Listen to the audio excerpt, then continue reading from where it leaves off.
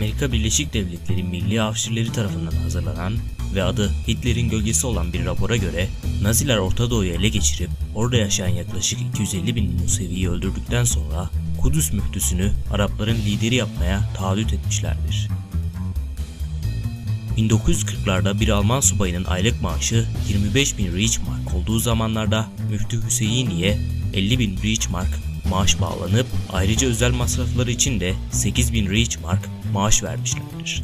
Müftünün faaliyetleri arasında 1943'te Alman müttefiği olan Hırvatistan'da Boşnak Müslüman 13. Dağcı Birliği'ni kurmak da vardır.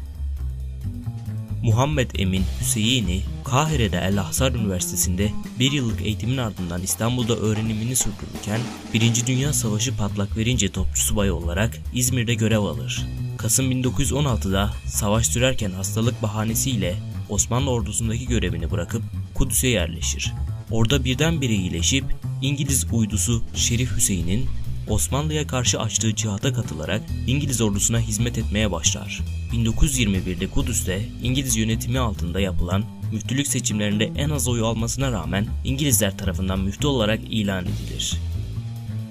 Yanar döner müftümüz Mayıs 1941'de ise Müslüman Arapları eski efendileri İngiltere'ye karşı Almanya'nın saflarında savaşı çağırarak cihat ilan eder. İngiliz ordusu Irak'ı işgal edince İtalya'ya gidip Mussolini ile görüşür. Sonra da Almanya'ya geçer. Müslümanlar arasında Hitler'in yandaşlığını uydurmak üzere her gün Alman radyosunda konuşarak Balkanlarda yaşayan Müslümanlar üzerinde epey etkili olur. Hacı Emin el Hüseyini'nin propaganda çalışmaları sonucu ilk adımı Bosna, Kosova, Makedonya, Bulgaristan, Batı Trakya gibi Avrupa topraklarında yaşayan Müslümanlardan yaklaşık 100 bin kişi Hitler'i İslam'ın kurtarıcısı sayarak Nazi birliklerine katılmıştı. Bunlara göre Mussolini gerçek adı Musa Nile olan bir Müslümandı. Hitler de Haydar adı altında gizli Müslümanlığı seçmişti. Daha beteri Hitler'in Mısırlı yandaşları tahta Hitler'in annesinin doğduğu evi bile bulmuşlar ve o evi hacı olma yeri olarak kullanmışlardı.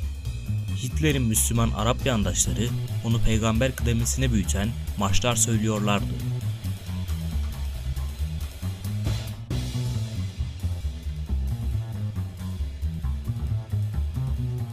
Hançer adıyla anılan Bosnalı Müslüman askerlerin Hüseyini tarafından çizilen bir bayrağı bile vardır. Hacı Emin el Hüseyini, Hitler intihar ettikten sonra Rusya'ya karşı Amerikan hizmetine girip Müslüman Kardeşler Örgütü'nün temelini atar. Dünya İmparatorluğu düşleriyle savaş alanlarına sürülen Hitler başarılı olamayınca Amerika 2. Dünya Savaşı sonrasında kendisini dünyanın tek egemeni olmaya soyunur. Tıpkı Napolyon, 2. Wilhelm ve Hitler gibi dini kullanarak. Komünizme düşman olan Amerikalı para babaları, sanayiciler ve çoğu Hristiyan din adamları komünizme düşmanlığını ilan eden Hitler'in Sovyetler Birliği'ne saldırması için ellerinden geleni yapmış, Amerikalı bankerler borç vererek, silah satarak, Katolikler, Protestanlar ve Evangelistlerse mezhep bağlılarına Hitler'in yandaşlığını aşılayarak desteklemişlerdir.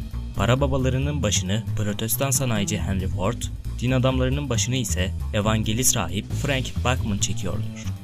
Ford'un parasını hem Bachman'ın imanını hem de Hitler'in kılıcını keskinleştiriyordur. Neredeyse Alman sanayi ve teknolojisi doğrudan doğruya Henry Ford'un Almanya'ya akıttığı sermaye ile kurulmuştur. Birinci Dünya Savaşı sonrasında Almanya'da açılan fabrikaların çoğu savaş araç gereçleri üretmeye yöneliktir. Ve bunlar da çoğunlukla Henry Ford'un para ve teknoloji aktarımı ile kurulmuştur. Profesör Doktor Anthony Sutton bütün bu gerçekleri 1976 yılında belgeleriyle ve kanıtlarıyla Well Studied Anti-Resolver adlı kitabında aktarmıştır. Yeni videolarımızı kaçırmamak için kanalımıza abone olabilirsiniz. Ayrıca Çanakkale Savaşı hakkında ilginç bilgiler adlı videomuzda buradan izleyebilirsiniz.